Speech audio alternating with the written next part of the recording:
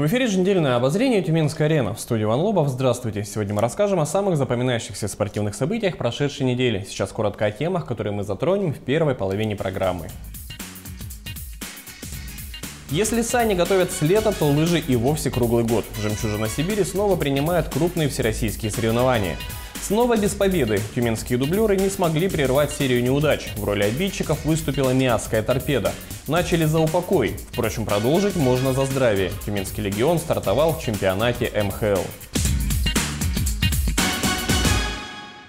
Как только в Тюменской области стабилизировалась эпидемиологическая ситуация, свои двери для атлетов с удовольствием распахнул соскучившийся по соревновательному азарту Центр зимних видов спорта «Жемчужина Сибири». Первыми после пандемии помериться силами в одном из лучших комплексов планеты решили лыжники. В сентябре, как только в нашей области стабилизировалась эпидемиологическая ситуация, Тюменский центр распахнул свои двери для лыжников сборной России. И случилось это очень вовремя. Традиционно в «Жемчужине Сибири» в сентябре проводятся все российские соревнования, являющиеся для атлетов и тренеров спортивной вариацией сочинения «Как я провел лето». Будем уже отталкиваться от этих соревнований и вносить корректировки в тренировочный план. Если все удачно получится, значит мы идем в правильном направлении и, скорее всего, план подготовки не будем корректировать и будем тренироваться так же, как шли. А при неудачном раскладе что-то изменим и предпримем меры. Мы после гор, да сейчас все составы после гор, и все побегут, э, так называемая, есть вторая волна у спортсменов. И думаю, все покажут достойные результаты, кто на что способен. Традиционно на неофициальный летний чемпионат страны собрались лидеры национальной команды. В Тюмени сейчас находятся три из четырех групп сборной России под руководством Маркуса Крамера, Олега Перевозчикова и Егора Сорина. Не хватает жемчужной Сибири только коллектива Юрия Бородавка. Его подопечные проводят сбор в Малиновке Архангельской области, поэтому сибирские старты проходят без Александра Большинова, Натальи Непряевой и Дениса Спецова. Но и без этого здесь будет ну, очень много спортсменов, особенно вот в мужской части, э, с кем можно будет сравниться той молодежи, которая тренируется у меня в группе. Соревнования нам нужны, э, потому что спортсмены уже тренируются на протяжении полугода без э, стартов и им нужно, им нужно проверить себя, нам надо посмотреть, как э, складывается тренировочный процесс, то есть определенный срез сделать на, на данный период времени. Э, они, эти соревнования для нас традиционные и, естественно, необходимые. Впрочем, звезд и так хватало. Обладатели наград Олимпийских игр Александр Бессмертных из Московской области и Андрей Ларьков из Татарстана, тюменские призеры чемпионата мира Глеб Ретивых и Евгений Белов, титулованный югорчанин Сергей Стюгов, вернувшаяся из декрета Юлия Ступак.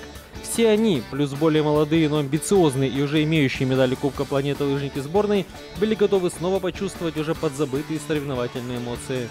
Надо иногда простартовываться, особенно в рамках соревнований неконтрольных, чтобы просто как-то э, не терять навык, все равно контрольный это контрольный, ты вышел, там сказали во столько, ты пробежал, все, а здесь все равно есть азарт какой-то, есть такое чувство волнения небольшое, все равно более ответственно, и как-то все равно, чтобы это не сказывалось зимой, что ты выйдешь, там, ой, 4 месяца не соревновался, у тебя паника будет в глазах на старте.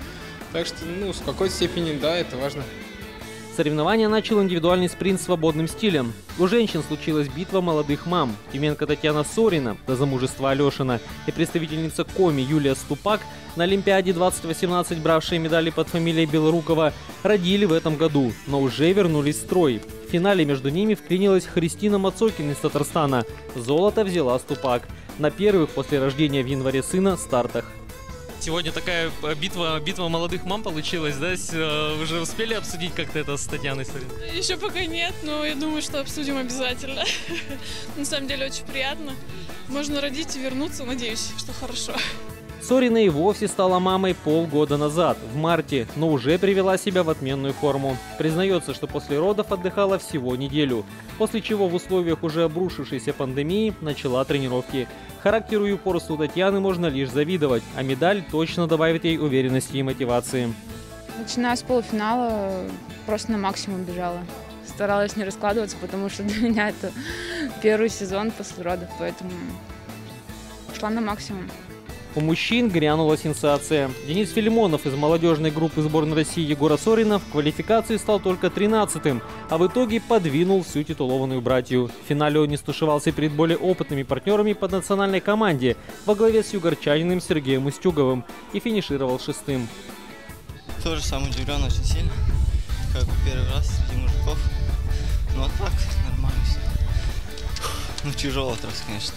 Следом расположились другие татарстанские атлеты – Сергей Ардашев и Андрей Ларьков из команды Олега Перевозчикова. Отметим, что представители всех трех групп сборной страны в итоге взяли медали в спринте.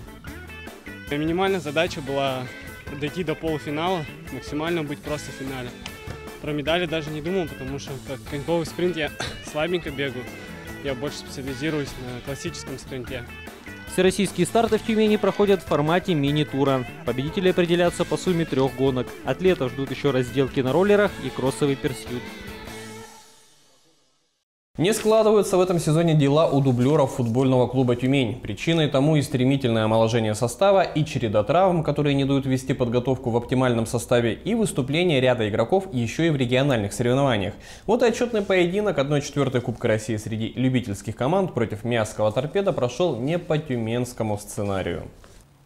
Гости сделали ставку на стандарты и контратаки. Уже в дебюте автозаводцы чуть было не исполнили сухой лист, а когда не вышло, горевали недолго. Навес с левого фланга замкнул Алексей Емельянов. У нас каждая игра – урок.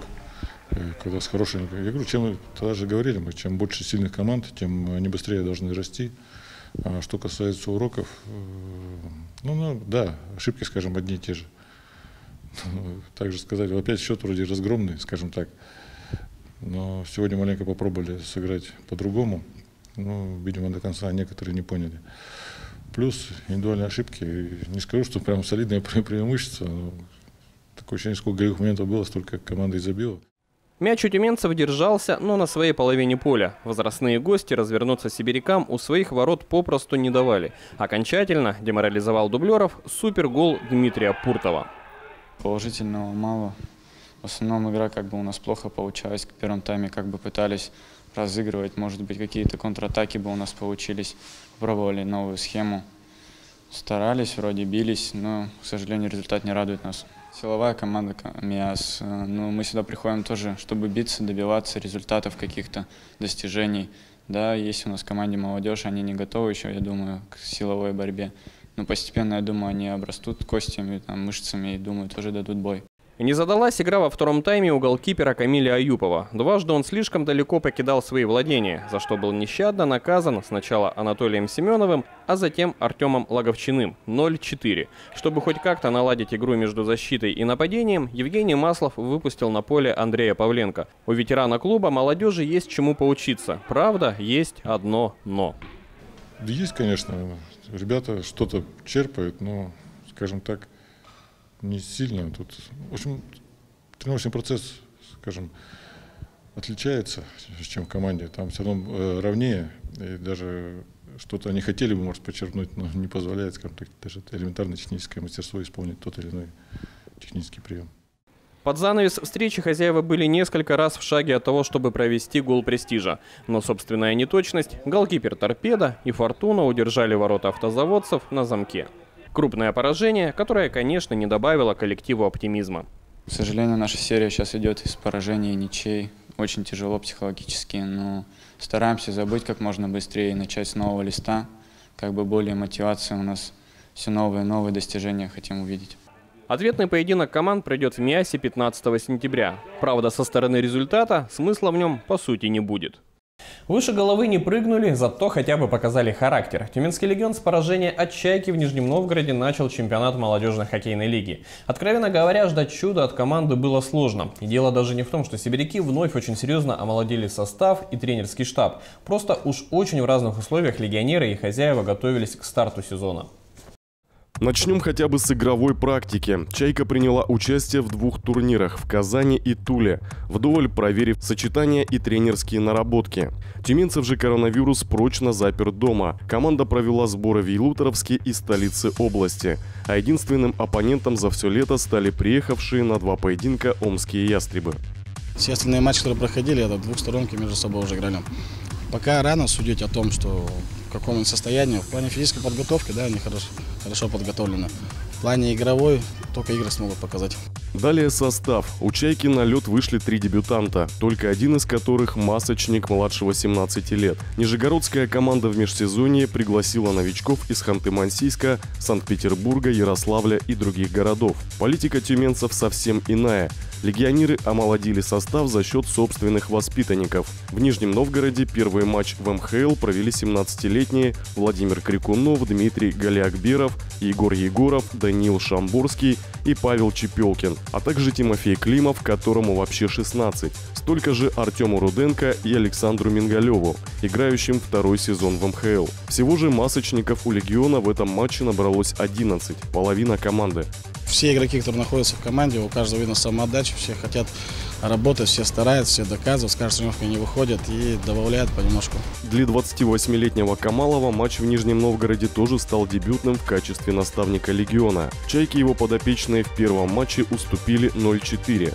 Но если смотреть не только с точки зрения результата, особенно учитывая все вышесказанное, положительные моменты найти можно. Прежде всего команда не рассыпалась после неудачного отрезка во втором периоде, когда за 5 минут пропустила трижды. Неплохо проявил себя 18 17-летний голкипер Станислав Пылаев, вышедший в заключительном периоде и отразивший все 20 бросков. Также отметим два десятка заблокированных сибиряками бросков и 17 силовых приемов. При этом на грубость легионеры не сбились, поля реже волжан и в целом не проседая в скорости.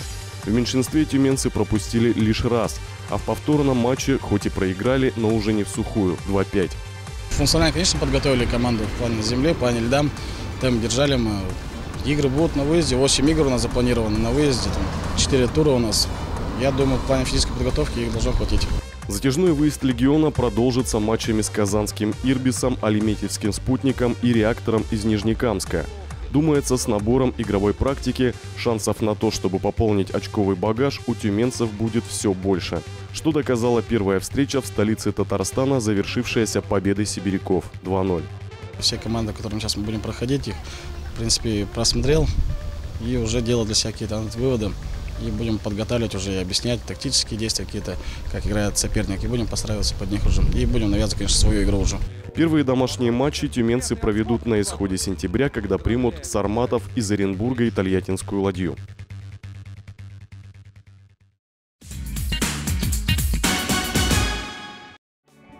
В Акуловке Новгородской области состоялся чемпионат России по грибному свалому. Тюменцы Зульфия Сабитова и Николай Баранов расстались с титулом сильнейшего в стране смешанного экипажа на каноэ-двойке. После первой попытки они шли вторыми, но в финале заняли четвертое место. На каноэ-одиночке Сабитова показала пятое время, а Баранов восьмое. Такой же результат у 19-летнего дебютанта чемпионата России Данила Быкова на байдарке. Сейчас тюменцы готовятся к следующему старту – Кубку России, по итогам которого окончательно будет сформирована сборная страны. Вторую победу одержала Тюменская гвардия на проходящем в Севастополе суперфинале межрегиональной любительской баскетбольной лиги России среди женских команд. Представительницы индустриального университета одолели ДГТУ из Ростова-на-Дону 64-48. В первом матче сибирячки были сильнее созвездия из Владивостока 69-62.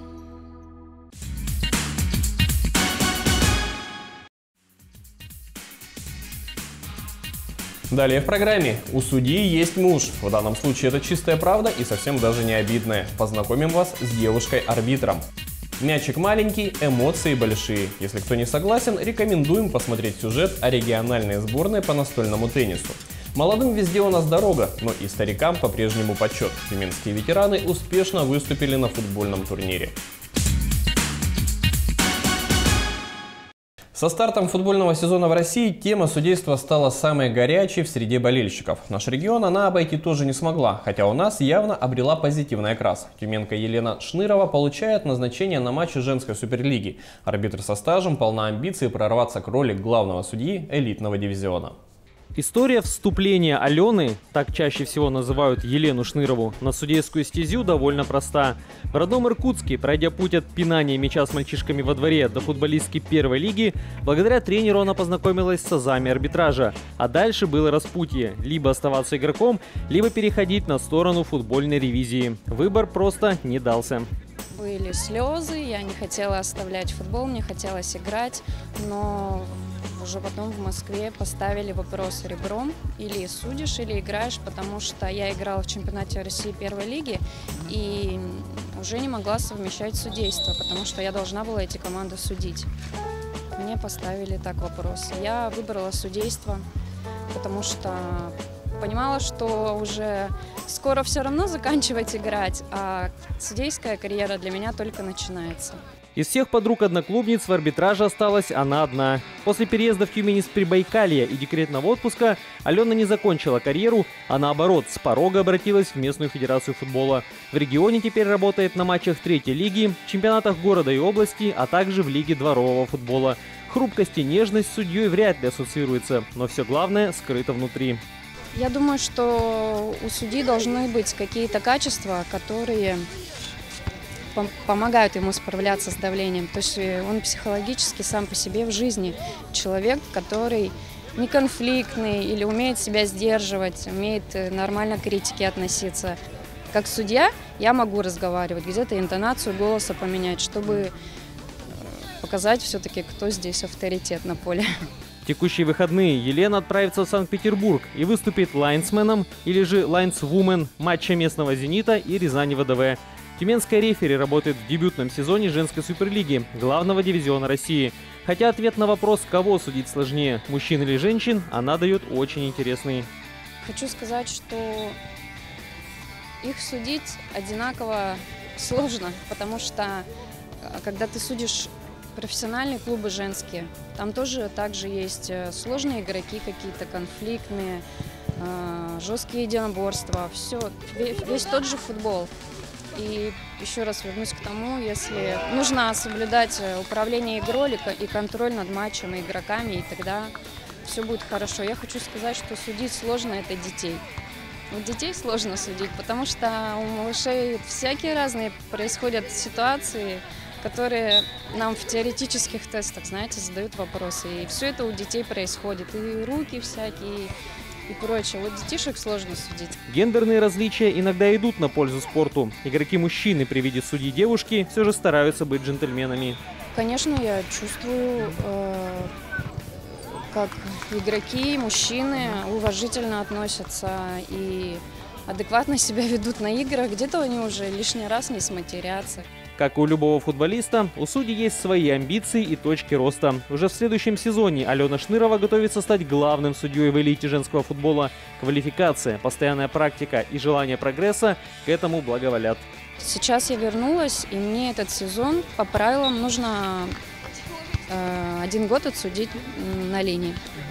Но на сборах нам сказали объявить, кто хочет переквалифицироваться на главного. Я это объявила, и поэтому, да, у меня есть такая цель – со следующего сезона работать главным. Для этого я должна судить в регионе главным арбитром. Это чтобы мне чемпионаты области, города давали в поле судить. Ну, чемпионат города я в поле сужу, мне назначают матчи. Что самое главное в спорте? Конечно же, получать от него удовольствие. Как, например, юные участники сборной Тюменской области по настольному теннису, которые после нескольких месяцев коронавирусной паузы приступили к полноценным, официально разрешенным тренировкам. А кому-то из начинающих спортсменов уже совсем скоро предстоит держать ответственный экзамен. С 16 по 20 сентября в Екатеринбурге состоится международный турнир УГМК Open. В нем по традиции будут соперничать самые юные теннисисты, ребята 2009 года рождения и младше. Молодо в данном случае не зелено. В застольных баталиях эти дети заткнут за пояс многих взрослых, только успевай уворачиваться от мечей. Отбирается 40 человек по рейтингу, с 1 по 40 место в России, да, и туда приглашаются, плюс дополнительно 24 человека приезжают иностранцы, то есть приглашают с Казахстана, с Белоруссии, то есть с разных, э, ну, стран, можно сказать. Возвращение к полноценным тренировкам стало для маленьких мастеров большого настольного тенниса настоящим праздником. Пинг-понг – слишком интеллектуальная игра для того, чтобы получать от нее удовольствие лишь в удаленном режиме. Ну, я просто сильно люблю играть в теннис, у меня хорошее настроение. Я с радостью прихожу на тренировку и люблю заниматься. Я каждый день это повторяю, и рука у меня набивается. С каждым днем все легче и легче. Добиваюсь новых высот я все время. В каждой возрастной категории у нас 5 э, попадает э, мальчиков, 5 девочек. То есть 3 основа и 2 дополнительные. Если э, кадеты, то мы можем просматривать э, в эту сборную мини-кадетов. Мини-кадеты – это как раз те, кому нынче от 11 и младше. Вот отгадайте загадку. Ростом мал да удал, от меня ускакал. Правильно, мяч. Но оказывается, не только. Нравится играть в свое удовольствие. Когда тебе задают задание, ты можешь долго сделать. Э, У тебя подготавливается физическая подготовка. Ты ну, думаешь, что у тебя что-то получится. Сомневаться в этом не приходится, тем более, что самым маленьким тюменским теннисистам есть на кого равняться. Насонов Богдан, который становился чемпионом и призером международных соревнований. Насонов Николай, его двоюродный брат, он был в том году десятый на России, он попал, отобрался. Был э, Даниэль Набиев, тоже ездил на чемпионат России, на первенство России, занимал 16 место по своему году. Но, как говорится, не настольным теннисом единым живут его приверженцы. Вообще я хочу стать педиатром. Э, Вот. Ну, мне нравится там всех лечить. Вот, я прям в детстве брала там всякие эти инструменты и лечила, то есть, своих взрослых. Мечты у наших детей светлые, а взрослым только остается помочь им воплотить их в жизнь. У нас больше и больше, больше, больше, больше ребят, которые растут, которые не бросают настольный теннис, они хотят двигаться дальше. Но от того, что у нас всего 9 столов, мы не можем разместить детей, у нас бывает по 40, по 50 человек в зале, да, то есть на такой маленькой территории мы не можем разместить детей. Очень бы хотелось свой зал, В Березовском Свердловской области завершился региональный турнир первенства страны по футболу среди ветеранов возрастной группы 50+. В нем участвовали 6 команд, тряхнули стариной на зеленом газоне и представители Тюмени. Команда, капитаном которой является Александр Русляков, в результате заняла третье место, занеся в свой актив 7 очков. Конечно же, в принципе, в таких турнирах, я думаю, что главное действительно участие, но спортивную составляющую, составляющую никто не отменял, и все равно была поставлена максимальная задача достигнуть максимального результата. Не все получилось, но я думаю, что жизнь есть жизнь, она не останавливается, я думаю, мы еще вернемся, так сказать, к более высоким местам и завоюем эти места. Сибиряки вполне могли расположиться в турнирной таблице и выше, но в Березовский пришлось отправиться усеченным составом. Именно кадровые проблемы и скомкали рисунок игры Тюмени. Тяжело. Честно скажу, тяжело. Как раз на эти выходные погода такая очень жаркая установилась. Э, У нас э, было очень мало замен. Вот скажу по последнему матчу, когда играли с хозяевами, у них было 15-17 человек. Э, Через каждые 2-4 минуты они менялись. А мы этого не могли себе позволить, поэтому было очень тяжело и мне, и всем остальным ребятам в нашей команде. Но, как говорится, достояли до конца. Первыми финишировали хозяева. Митяй из Екатеринбурга, набравший 15 очков. Серебро примерила Омская область, настрелявшая на 8 баллов. Именно вице-чемпионов вполне могла опередить Тюмень, для чего в последнем туре ей было достаточно сыграть в ничью с располагающейся ниже Уфой. Самым запоминающимся для нас был матч, это, конечно же, с Уфой, который ну, мы должны были побеждать. Но так сложилось, что мяч он круглый, и мы, к сожалению, пропустили на последних минутах и проиграли 1-2. Этот результат не позволил нам занять второе, призовое, ну, второе более высокое место, чем то, которое мы заняли. А поддерживать форму сейчас необходимо. После снятия ограничений ветераны задышали полной грудью и, не успев вернуться домой, уже готовятся к следующим матчам. Давненько не виделись.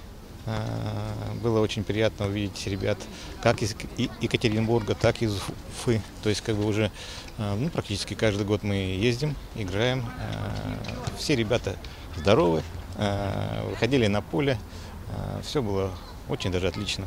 Поэтому я считаю, что действительно для нас, футболистов, мы пережили данный период и вот, пожалуйста, начинаем тренироваться.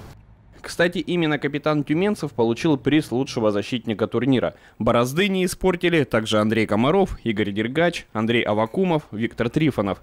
И даже несмотря на то, что концовка соревнований для сибиряков вышла смазанной, главным итогом стало то, что команды сумели вернуться к привычной жизни.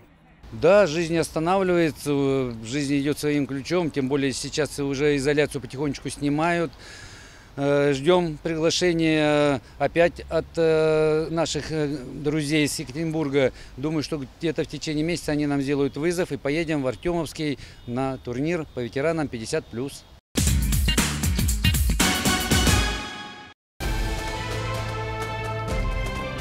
ГТО в Тюмени.